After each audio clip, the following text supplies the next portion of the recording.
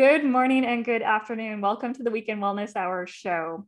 Very excited to have a colleague on today who I've been part of this think tank in Arizona for several years, and Amy Vander Linden is part of that. And she owns a business in Arizona where she helps people with pelvic issues. So thank you so much for joining us today, Amy. It's a pleasure to have you.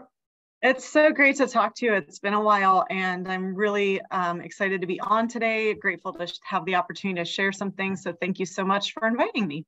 Thank you. So, you are a physical therapist, but how did you get into this world of pelvic health? It's it's kind of a more of a niche area, and it's very unique. Well, my journey was definitely a bit more circuitous than some. Um, I've been a pelvic, or I've been a physical therapist for quite a while and in 2009, I had my kids in 05 and 08. And then in early 2009, I went up to take a course with John Barnes in myofascial release. And it really started there. From there, I ended up starting my own practice, just myself, and growing in kind of all of the fascial things. And he has a women's health course that's much more extensive. And so I ended up taking that just as I'd had my own kids, a lot more of my friends were having kids, and just sort of that need uh, really opening my eyes to how underserved that situation was. Mm-hmm. And so it grew from there. I started specializing in that, took some other courses. Um, we also treat men, and so taking some advanced courses with that as well. Mm-hmm. Just um, we still focus primarily on women in the space, um, but when men need a pelvic PT, they're really up a creek because, say, for example, 40 PTs in Phoenix do pelvic health, maybe 10 of them treat men. So they don't need us as much, but when they do, they're they can really be um, in a pickle, sort of a bad phrase, but I'm constantly picking awkward words because of the work I do. So um, yeah, that's definitely it's been that route of just really feeling like the need was what prompted me to pursue that specialty in this particular niche. Okay, that's great. So, when you talk about pelvic health, what are all the areas are you, that you're addressing? So, someone comes in, they're saying they were referred to see you. What are kind of some of the possibilities, the areas, the conditions, those types of things? I would definitely say the three main things that we treat mm-hmm. most often are painful sex, okay. leaking urine, um, and then pregnancy related, whether it's pain during pregnancy or specific like pubic symphysis, diastasis is that splitting of the abdominal muscles mm-hmm. um, that can be very concerning.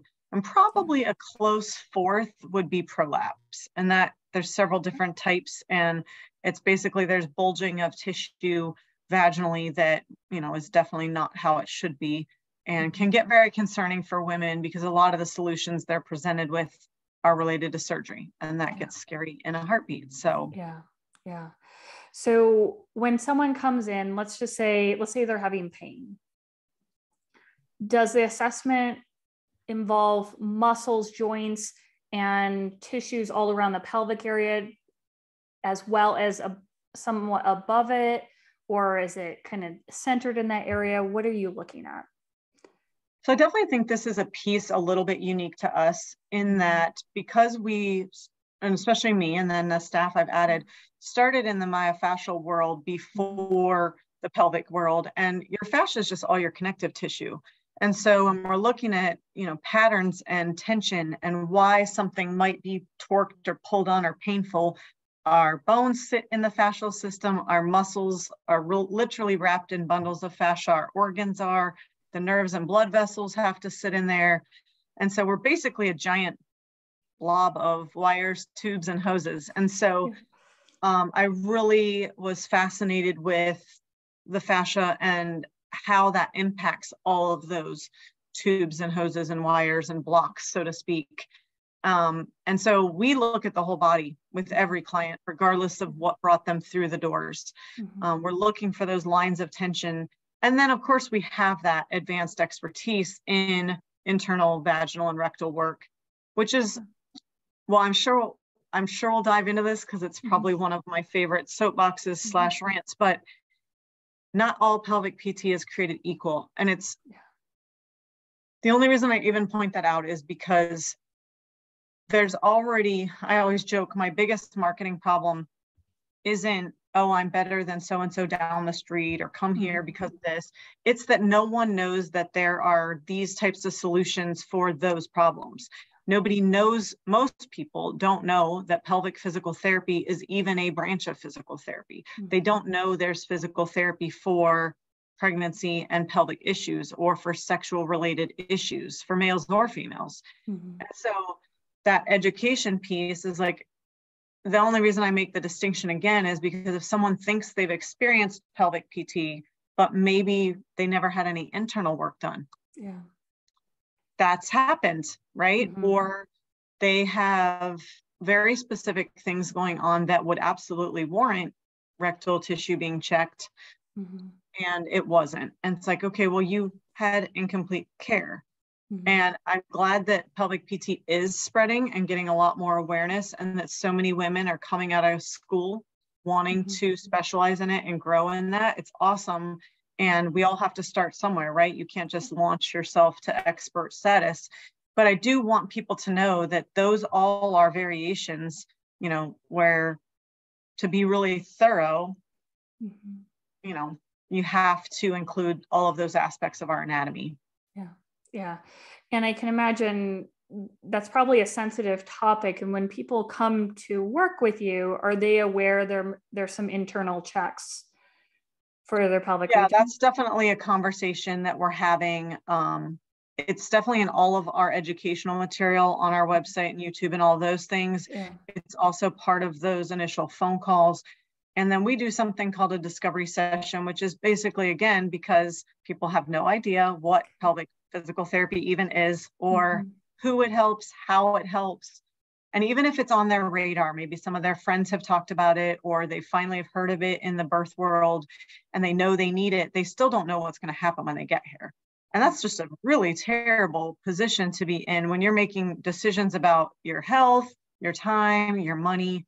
And like you said, sensitive nature on a lot of levels. And so, mm-hmm. one thing I really appreciate about our foundation in the myofascial world is that our main teacher, John Barnes, mm-hmm. starts with being trauma informed from the very first class, not even related at all to the pelvis. Mm-hmm. From the very first class for treating any body part, he started training us on fight, flight, and freeze and how trauma is trapped in the body and recommending books like Peter Levine and Body Keeps the Score mm-hmm. and things like that, where you understand we can't keep separating out mind, body, spirit. We are a whole person, and you can't just do the shoulder or the hip or the ankle um, and expect to truly feel well and whole. And so, yeah, we're really, really big on education. And yeah, it's always, I'm also, my number one rant is by far informed consent.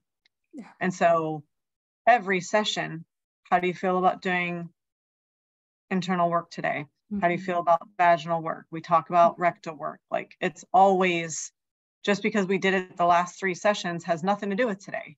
Yeah. So I think that's really important. Um, and and the philosophy around fascial work too is very much governed by your subconscious. So if someone doesn't feel safe and obviously I can only control so many pieces of whether or not someone feels safe. Some people don't aren't safe in their own bodies, but to the best extent of our ability to create an environment that they feel safe in is 100% my responsibility and um, where we start before we get in before i touch their neck before i touch their hand um, but yeah so we do treat whole body and we we definitely that's a delicate subject and part of why it's so needed Mm-hmm. Absolutely. And just having that rapport and someone knowing exactly what to expect that helps bridge that gap between, you know, for trust. So, especially in a very sensitive area like this. Now, when you're dealing with some of these common, let's go into pregnancy. So, when someone, when a woman is pregnant, you hear a lot about the ligaments become a little bit more lax or loose there's changes around the body to allow for delivery. You're also often hear that, oh, things will go back to normal afterwards. and obviously you see women well after they've given birth. So, what are you seeing as kind of reality in terms of the pelvis as they're going through pregnancy and then afterwards? Yeah, that's definitely been a huge bulk of our client base over the last mm-hmm. couple years as pregnancy and postpartum. And we do have that hormone relaxin that goes through the body and lets things kind of open and allows for the growth of the baby in a woman's body, which is still so extraordinary to me. Um, and then I think there's such a range of experience for women in pregnancy and delivery and postpartum. And so we're we try to be very intentional when we use the word common versus normal. Yeah. Because common, it's common to pee during end stage of pregnancy. It's common to have diastasis or pubic symphysis, the bones in front of your pelvis where your pubic bone is. Mm-hmm. It's common for that to get stretched and create some pain. Um, it doesn't mean it's normal and it doesn't mean it's not treatable. So again, we try to be very careful with those words across that range of possibilities because some women have very little pain throughout the course of their pregnancy, um, especially first time pregnancies. Even um, we work with some athletes and, and runners and CrossFitters and stuff, and they are very much thrown off when it feels like their bodies, which are so fit and healthy and strong, it feels like their bodies sometimes betray them in that sometimes they get the worst diastasis, but again, because those tissues aren't pliable and mobile and adaptable. So we work on that when women come in with something going on during pregnancy, or they've just heard about the fact that there is help for that. Um, we try to really work on all of those pieces, distributing that symmetry and tension throughout the body. We are asymmetric beings. We all are at all stages of life.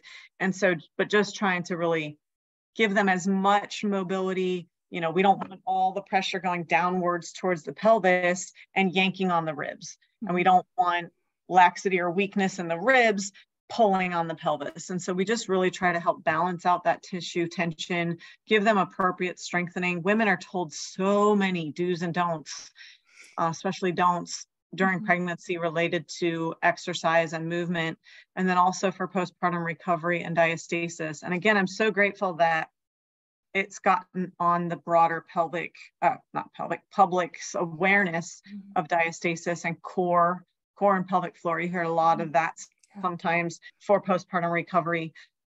But anytime someone's trying to create a program, of course they have to stick with generalities. And so that doesn't always work for everybody. And so we try to really help women feel confident in what's going on with their body so they know what they need. And it just removes so much doubt and so much fear and that mental load that most women carry. We really try to alleviate that and help them know what their body needs so that they have a lot less discomfort throughout the rest of the pregnancy and a more confident starting point for their recovery. Mm-hmm. And how quickly after delivery, and I know this depends on the person, but how quickly can someone get started at looking at recovery. Let's say they have a vaginal birth and there wasn't any complications. Are they starting immediately, two months down the road, just in general terms? Are you talking about with our care or are you talking about for like getting back to activities? Um, for your care. so let's say they've been seeing you and usually when someone's getting care and they're doing well with you, they want to return back just to make sure they're on the right path. Yeah, so that's a very common scenario. Mm-hmm. And we've seen them the day they left the birth center because of pain in the sacrum that was like preventing them from standing. That's not super mm-hmm. common, thank goodness. Okay. Um, but we typically stick with around that five to six week guideline also, especially mm-hmm. if they had any stitches or, or um, are still feeling tender or healing up or they're still bleeding, they don't really want to come in. And that can last anywhere from three to six weeks okay. also. So we do stick with kind of that general six week guideline, but if they're having an issue, and we don't definitely don't do any internal before 6 mm-hmm. weeks, just body just needs to heal. And we really try to encourage them to just get to know their body, get to know their baby, yeah. sleep, eat, yeah. you know, and just really not put any pressure on themselves for those first couple weeks to do mm-hmm. something we also work with babies. And so a lot of times I'll see moms, mm. I'll physically see them, not treat them, yeah. but I'll see them because they bring their babies in for lip and tongue tie. And we also just oh, do free screenings on our infants. When we've been working with mom during pregnancy, we just do kind of a free screening. Mm-hmm. Uh, birth is a lot for them too, and just kind of unkink their necks and give them the opportunity to unwind and yeah uh, get a little bit more acquainted with the outside world. Um, so that's really fun too. So sometimes I get to at least see the little babies and see mom, but we usually save treatment for around that six week mark. Okay. Oh, that's wonderful. And it's great that they have you as a resource too as they're going through all this. So yeah. Can you touched on this word pelvic floor? Can you describe what that means a little bit for those who are not familiar? You may have heard of it before. Yeah, of course. So we literally, and I mean, it was staggering to me the extent of anatomy we studied in grad school and did not discuss this. There wasn't so much as a, as we passed from the spine to the legs, there wasn't so much as a casual mention. Granted, I went to school a bit ago, it's getting much better, but not so much as a casual mention of like, oh, you have three layers of muscle in your pelvic floor, two for men, three for women. Mm-hmm. If you're interested in that aspect of the field, maybe look into that not even a casual mention, right? So women have three layers of muscle. The first two are a little bit more, they're not external, but they're they're more the vaginal canal and the muscles in the actual canal. And then that layer three is the deeper layer. Um, you know, our pelvic floor has a supportive function for our actual organs. It has a sexual function. It also has that kind of sump pump with the breathing and our diaphragm of the mm-hmm. supportive structure of all of our organs in the body. It's kind of a big deal. And of course, the structural aspect of hips and spine and the connection of the pelvis that's literally the center point between our top half and our bottom half. Yeah. Um, and so just kind of looking at all of those pieces and helping women to understand their own bodies too. Um, that kind of the significance of education in our because it's such a passion of mine that women would understand that a majority of females orgasm with clitoral stimulation only. So sorry for the glitches, guys. I'm having some tech issues on my hand. I on my end. I think we have it handled now. So what a great spot to drop, right? oh my gosh. So I was talking about how the pelvis has supportive function, sexual function, sump pump, all of those pieces. And we definitely try to help women understand their bodies more, their cycle, all these different pieces, and that most women do not orgasm from penetration. That um, when our cells divide as embryos and determine whether or not we become male or female, that the same cells that are the um, stimulating orgasm piece of the tip of the penis are the clitoris. So when we grow up as little kids, it's not girls have a vagina and boys have a penis. It's boys have a penis and girls have a clitoris. Um, the va- vagina literally, structurally, developmentally has completely different functions that aren't sexual. So that is take that for what that's worth. But um, that's a really when we deal with painful sex and we deal with postpartum recovery and all of these things, we can't really skip that because that is not the reality that most of us grew up believing, knowing about, expecting, and it impacts our lives big time and our mm-hmm. health big time. Yeah. And I mean, that's everyone, you know, you're having romantic interest, it's part of reproducing. So it's definitely an important aspect. So when someone comes to you and they're having pain when they're having sex, are you discussing these topics and are you showing different positions to help them relax so that it's not painful? Like, is that part of the process? A hundred percent. And just, you know, kind of backing up a few steps to the autonomic piece or the trauma piece, when you think about some basic statistics around infertility, miscarriage, abortion, rape, molestation, other sexual trauma, and then birth trauma, the chance that a female is walking in here without some degree, I mean, never mind add health issues like painful periods, um, painful sex, like all of those things. When we have pain, our brain says no. Yeah. When we have trauma, our brain says no. Yeah. And that extent to which our body will shift, adapt, or shut down to some degree is very prevalent. And so, even aside from sexual trauma and sexual pain, we often are doing work to kind of downshift that nervous system out of fight or flight, out of freeze, and regulating better. And then when you add sort of painful sex pieces on it, for sure, breathing. Um, a lot of women are misled too about the whole pelvic floor and just do your Kegels. And yeah. I'm sure a man must have started that rumor because um, any woman would know that that can make a lot of pelvic tightness worse can make a lot of symptoms worse. Mm-hmm. and a lot of times even so we leak right? Or we've had babies and we just feel like everything is flabby and stretched out and sagging. But in reality the body's amazing and it's trying to compensate and shift and help out. And so um, i literally in all the years excuse me of doing pelvic mm-hmm. health have not ever once worked on a woman where everything was literally just stretched out and weak and so there's areas that are tight that are guarding that are trying to help out and we have to address that first for the muscles to even work right. So we do a lot of reverse kegel training and a lot of sort of belief shifting around what pelvic floor strength is mm-hmm. and needs to be and looks like and feels like.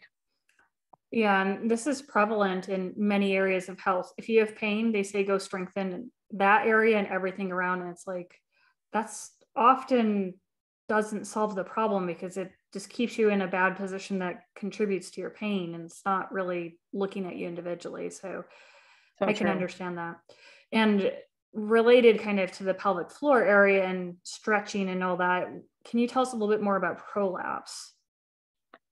So yeah prolapse is definitely where excessive pressure or tissue trauma causes some tissues to give way or be overly stretched out. Mm-hmm. And then things aren't where they were supposed to, aren't aren't where they originally were, aren't where they supposed to be. And now you can have what's called vaginal prolapse, where literally the walls of the vagina kind of are sagging and collapse in a bit. Mm-hmm. Vaginal vault prolapse is similar, just slightly higher up but where the tissues are kind of so like a woman will be concerned because she can either feel some tissue when she's wiping or like she'll look and it looks like there's a blockage or something there. And then you know then mass panic ensues right? Because it's like well what's falling out of me? Um, there can also be bladder prolapse where the bladder is not supposed to be and is dropping down. And it at its worst it could potentially not as likely because it has its own little anatomical pouch. A lot of damage would have to be done for your bladder to literally be falling out, but it can be partially prolapse. There's grades, of course, of severity. Mm-hmm. And then uterine prolapse. Um, and that's, of course, the first thing women think of when anything's bulging. They're like, my uterus is falling out.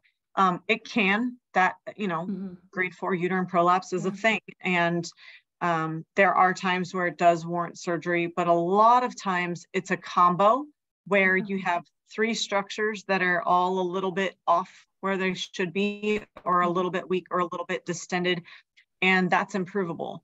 If one was truly like if your uterus was literally, you know, at the opening or protruding outside your body, the chance of that healing or strengthening on its own without any kind of surgery is pretty slim. Um, but we see a lot of grade ones and grade twos and even into grade three.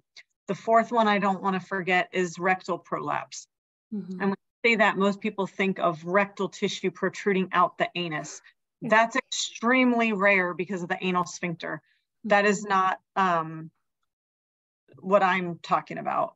Mm-hmm. Um, I'm talking about more, um, I'm talking more about the aspects related to um, bulging of the rectal tissue in the vaginal canal, where uh, women might have to splint to poop um, or different things like that. Um, so those are kind of some of the common types of prolapse. Most of them are treatable uh, without surgery um, or other more significant interventions. Um, so yeah, we try to work with those different scenarios.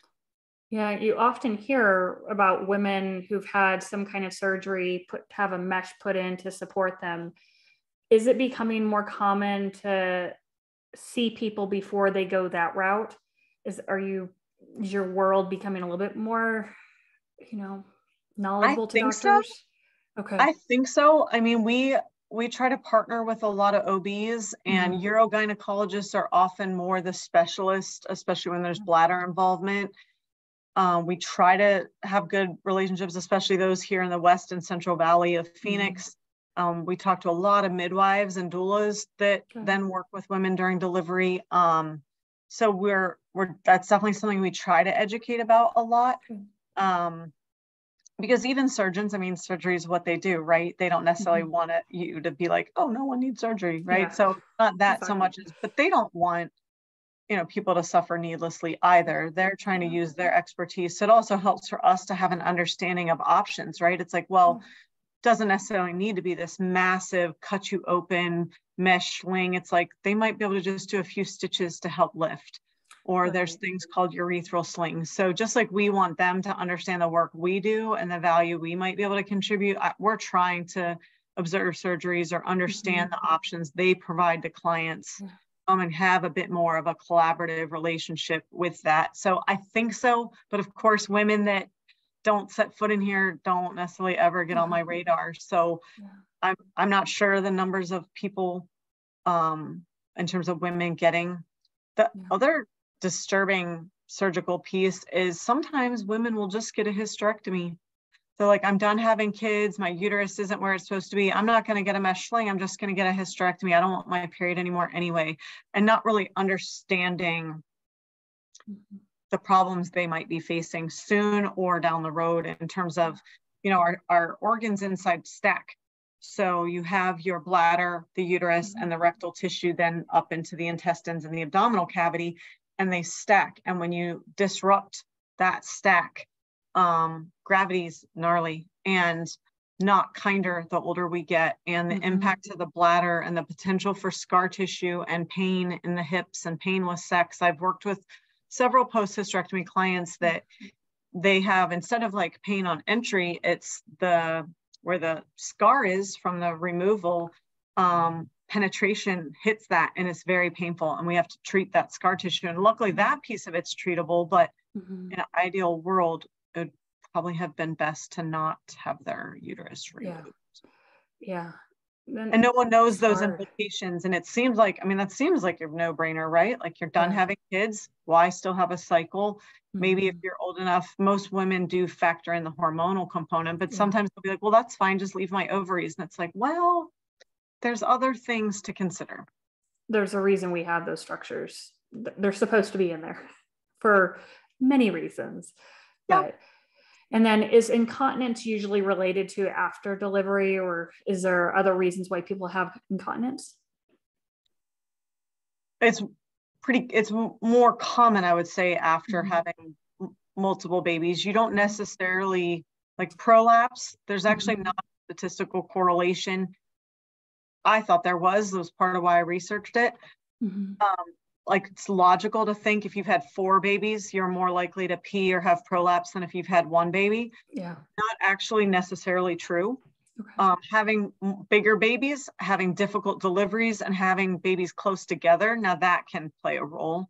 Um, but we also see quite a bit, this kind of goes back to the Kegel thing a little bit. We actually see quite a bit of leaking in women with really tight stomachs or intestinal issues. Constipation is actually one of the leading causes of prolapse and heavily contributes to incontinence. Mm-hmm. Um, so we do a lot of visceral work and abdominal work as well with clients because that's really common. I mean, IBS and bowel problems and poor yeah. digestion, yikes. Yeah. Um, really, really common. So that actually plays an even bigger role in women that have had tummy tucks or even cryotherapy can create abdominal tension and artificial pressure on the bladder. Again, back to some of the athletes we work with, it's things are literally so tight that the bladder's being squeezed. Yeah. Um, yeah. So, Yeah, it's sad because we're taught stand up straight, tall, suck your gut up and in, and we don't realize we're taking away space from the organs that are down there and they need to be able to expand and contract so it can be detrimental to the area. No.